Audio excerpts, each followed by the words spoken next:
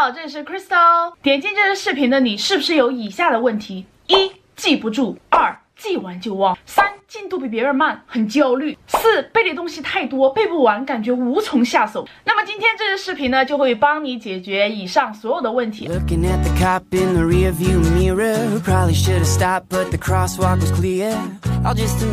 首先我问一下大家就是背书的核心思想是什么？背书的核心思想绝对不是说你去把整篇文章啊照样的背下来啊不是的它不是去背句子而是去背意思。那么背书呢有三个步骤，第一个步骤呢是理解，第二个步骤呢是背诵，第三个步骤呢是转述。所以你看一下，你在过往的背书当中是不是缺少了理解，或者说缺少了这个转述的过程啊？好，第一点呢就是针对这个段落的背诵，这个段落的背诵呢可以是解答题、论述题，或者是名词解释啊，无论是段落还是章节，还是整本书啊，它其实它的内核是啥子哦？内核就是那个逻辑。所以呢，我给大家提了一个方法啊，就叫做逻辑图像法。这一个方法呢，你们可能不晓得啊，是 B 站著名哲学思想家沃自己说德首次创立的啊。所以在今天这支视频呢，大家有福了啊，第一次知道这个方法，并且十分的高效。那这个方法呢，你需要掌握三个小点的方法啊。第一个方法呢叫做关键词，哎，你需要去提炼整篇文章的关键词。这个关键词怎么去提炼呢？就是说你要去找那种动宾关系，然后呢去记那种名词，而且特别是一些特殊的点，比如说时间啊、地点啊这种很确切的东西啊，你这个得去死记硬背啊，这个是关键词。然后第二个呢就是五 W H 方法。特别针对是事件型的这样种背诵啊，我在之后后呢也会给大家举个例子啊。那么第三个呢就是符号或者是图像，因为科学证明，如果一个人运用图像或者说他运用符号去记忆啊，非常有利于我们去理解，也利于我们去记忆。我说了这么多，大家可能也不知道啊，所以我接下来用两个例子来给大家举例一下。比如说我们要记命运共同体这个概念，所以呢我们就要去找到它其中的关键词以及它的逻辑。关系，那怎么样去找到关键词呢？就要去找动宾，动宾啊，主要是去记那个宾语，那个宾语就是你可以提炼的关键词。比如说，要倡导人类命运共同体意识，意识就是那个啊关键词，在追求本国的利益，对吧？兼顾他国合理关切，在。谋求本国发展，发展是一个另外一个关键词，促进各国共同发展，建立更加平等均衡的新型全球发展伙伴关系，对不对？一个关系，然后呢，干嘛呢？同舟共济，权责共担，增进人类共同利益。那么，其实这段话你一定要理解它的逻辑，它的逻辑是什么呢？就是在十八大当中提出了一个什么理论？这个理论是什么呢？先要。有意识，对吧？你先要有一个意识，什么样的意识？人类命运共同体的意识。然后干嘛呢？然后你就要去行动了。怎么样去行动呢？其实就是追求自己的利益的时候，又要关心一下别人的利益；追求自己的发展的时候，关心别人的发展啊。然后导致一个什么结果呢？就是要建立一个更加良好的关系。建立什么样的关系？平等。均衡的新型全球伙伴关系，在这个关系当中，我们同舟共济、权责共担，增进人类共同利益。理解了这个逻辑之后呢，我们可以把它转化成什么逻辑图像法来给大家解释一下。就是党的十八大当中提出了啊，这个引号对不对？提出了一个概念，这个概念是什么呢？我们要倡导人类命运共同体。意识啊，然后在追求本国利益的同时呢，要兼顾他国合理关切，谋求本国发展的时候，又要促进各国共同的发展，对不对？然后形成一种关系，什么样的关系？平等、均衡。你可以在这里再加一个小三角啊，平等、均衡的新型合作伙伴关系，对不对？这个船是什么呢？就是它的那个同舟共济，舟嘛，小船。这个是什么呢？这个是扁担，对吧？一个是权，一个是责，权责共担。然后最后干嘛呢？促进了利益，对吧？促进了什么利益？人类共同的利益，增进了人类共同的利益啊。这些东西呢是你我自己想的，然后你可以根据你自己的去编属于你自己的符号，你自己的一些记忆快捷号，也就是把这么大一段话呢，你就变成了这么一个小小的逻辑图像啊，非常方便你去记忆，而且你在回顾的时候，你在复盘的时候，你可以就拿着这一篇纸，然后你去记忆去复习。然后我们再来举一个事件型的例子，事件型呢，就是由于每个专业课不一样嘛，所以我就选了一个大家都知道的啊，方便大家一起来。来去理解事件型就非常有利于大家用五 W H 的方法啊，五 W H 方法就是什么呢？就是 When, Where, Why, Who, What, How 啊，我们就一一来。五四运动时间是什么时候？一九一九年五月四号。地点呢？北京。为什么啊？它的原因是什么？一九一九年巴黎和会的外交失败啊，它是一个导火索，对不对？然后有哪些人参与呢？青年学生为主的。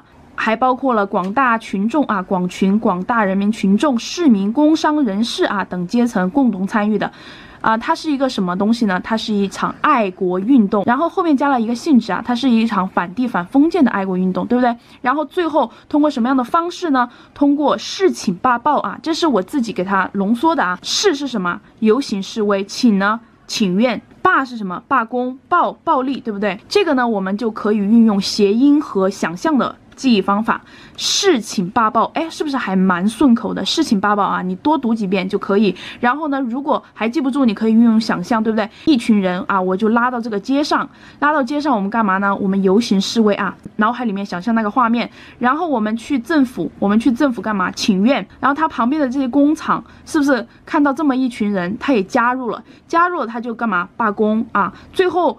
啊，请愿不成功，我们就可能使用这个暴力，对不对啊？就用这样一个联想的方法啊，在脑海当中过一下那个画面，事情罢报。最后呢，我们再来把它串在一起。五四运动就是一九一九年五月四号发生在北京的，以青年学生为主，广大群众、市民、工商人士等阶层共同参与的反帝反封建的爱国运动。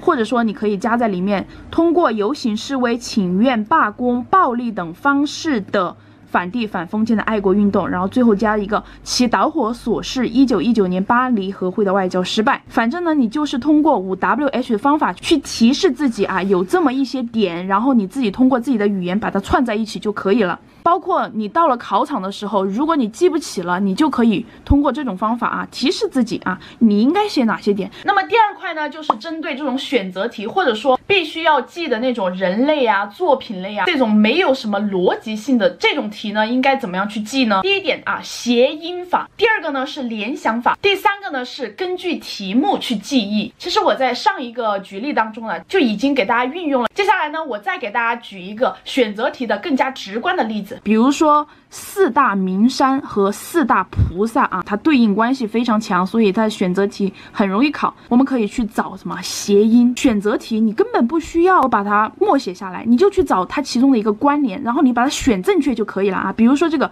五台山和文殊，哎，这个武文是不是文武双全啊？哎，这么一个谐音啊，非常的好记，对不对？然后浙江普陀山观音，哎，这个音，哎呦，这个普是不是有音谱啊？乐谱。啊，音谱对不对？然后呢，四川峨眉的普贤啊，这里有一个普，然后前面是不是川川普？哎，那是不是非常著名的人呢？或者说梅普？哎哎，梅普啊，是不是也是很有趣的一个梅普的东西啊？非常的谐音化哈。还有这个什么九华山地藏。这里是不是有个滑？然后这里有个地，是不是地板很滑啊？地滑，对不对？那么我在这里呢，省略了其中的一个你去找谐音的过程。我主要是给大家提供一种思路啊，提供一种方法。那么第三块呢，你要去干嘛？就是一定要去复盘。这个复盘呢，大家也要注意几点。第一小点就是科学证明人的大脑有一个五次记忆法则，所以大家一定要把握一二四七十五这五天，你一定要去进行一个巩固进行。进行一个复习。那。第二个小点呢，就是大家可以去利用好睡前记忆和醒来记忆，因为你在睡前，你的大脑是不接触信息的，而且你这个背诵环境还相对安静。你这个时候背诵的东西，哎，在你睡觉的时候，你的大脑呢会帮你去巩固。那么第二天早上醒来的时候，你这个脑壳很清醒，你没有想起，你没有回忆到的东西啊，你第二天早上去看一下，就可以加深你的印象。第三点呢，就是你一旦开始，你就要坚持到底。你比如说，你从十月下旬或者十一月月份你开始去背了，你背了你就得坚持。就像我上次视频说背单词，一定要在一个月内坚持去把它背完，就不要中间斩断。OK，大家可能第一轮背书啊比较痛苦啊，战线很长，但是。我跟你说，你只要熬过第一轮，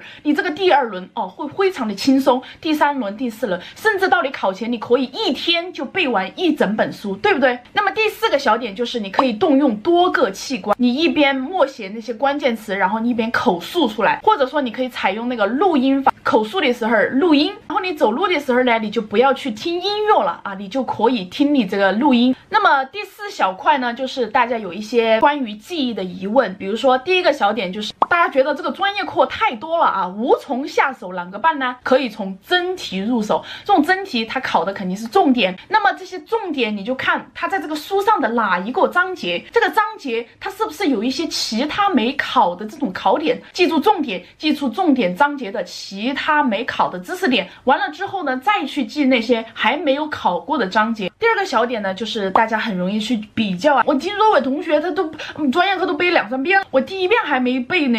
咋办呢？就是嗯慌啊啊，你这个焦虑啊。别慌啊，别焦虑。我跟你说，他背完了啊，他之后肯定是会忘的。因为啥呢？因为这个人的记忆曲线，他如果不及时复习的话，他肯定会忘的啊。所以，我们只要把握好十月下旬、十一月、十二月，特别是最后一个月，大家一定要专注。反正你就去背诵，你就坚持到考前，哎，你肯定可以的，你没有问题，好不好？那以上呢，就是我给大家总结的一些记忆的方法和记忆一些小技巧。那么，其中那个逻辑图像法非常非常重要，同时呢，也给。大家做个预告啊，之后呢，我们会把这个方法运用到肖四主观题的背诵当中啊，已经把这种逻辑给大家找出来了，然后给大家做成视频啊，纷纷的呈现给大家，所以大家 don't worry，你的政治主观题根本不需要担心啊，只需要关注我啊，顺便再给我一个三连哈，非常的感谢大家。好了，那以上呢就是这视频的全部内容，我们下期再见啦，拜拜。